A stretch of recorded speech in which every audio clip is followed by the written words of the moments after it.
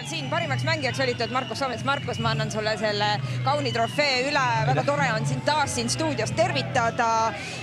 nii, väga enesekindel esitus avapoolajal, sinult ilus värav, kaks-null võit. tundub, et võib rahul olla selle ava, avamänguga?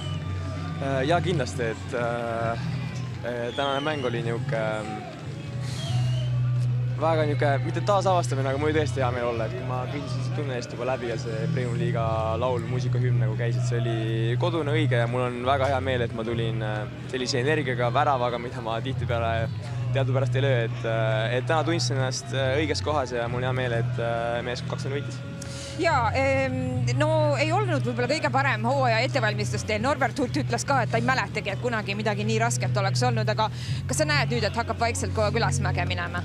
Ja ei saa mööda vaadata, et tõesti see pre-season meil oli palju vigastatuid, haigusi siin sees ja ja võib-olla ei läinud päris nagu meie taktis, aga, aga ma arvan, et siiski hoo alguses me saime ennast nii-öelda käima. nüüd ma loodan, et iga mäng läheb, mitte ei looda, vaid tean, et iga mäng läheb paremaks ja, ja noh, jällegi, et me pole oma eesmärkidest tagasi võtnud, et kõige säravamad medalid lähme püüdma. ja nii on. väga tore kuulda, Markus, aitäh sulle, lasen sul minna.